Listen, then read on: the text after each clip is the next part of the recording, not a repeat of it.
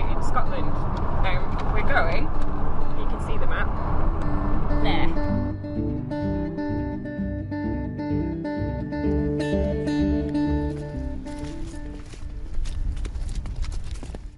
So there's footprints all over the surface. There's one, two, three, four. I'm Steve Brusatte. I'm a paleontologist at the University of Edinburgh. We were looking here at the site for the bones of small vertebrates, little lizards, crocodiles, those kind of things. But as we started to walk along this surface at the end of the day, as the light hit it at the right angle, my colleague Tom and I kind of looked at these depressions in the rock and it just kind of clicked that something was, was odd about these things. So then everything stopped and we started to map the area and we realized that these were footprints and these were the first time footprints of these dinosaurs, the big long necked dinosaurs, those Brontosaurus, Brachiosaurus type dinosaurs, the first time those footprints had ever been found in Scotland.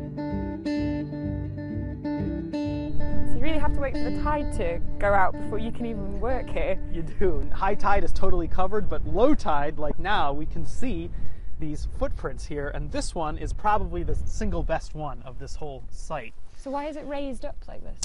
So that's kind of curious, isn't it? It's raised up. When you think of a footprint, you think of you know walking on the beach, leaving your footprint in sand as a depression.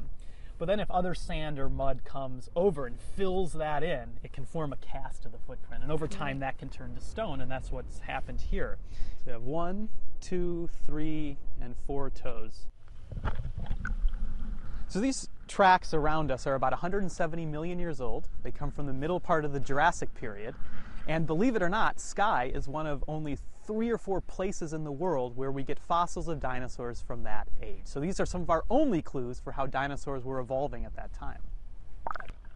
These footprints, these were made by dinosaurs that were living and moving around right here, right where we stand. So footprints do, I know it's a cliche, but they do allow us to walk with dinosaurs and they, they help us better understand what these dinosaurs were actually like if you were around 170 million years ago what these dinosaurs would have been like if you were able to see them. So we see footprints of different sizes, so you know that's probably a sign that there were different ages of dinosaurs. Right. So it's um, you know dinosaur dance floor.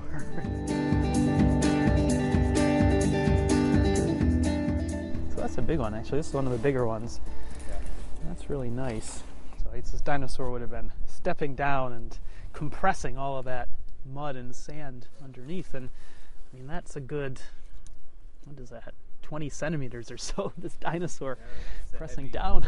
oh Skye is a world class dinosaur site, but it was only about 30 years ago that the first dinosaurs were found here. So we're just starting to get a picture of how important Skye is. And every time we come out, we find new things. And our friends up here on Skye, they're always finding new things. So the future here is really, really bright. This is Scotland's dinosaur island, and there's a whole lot more to come.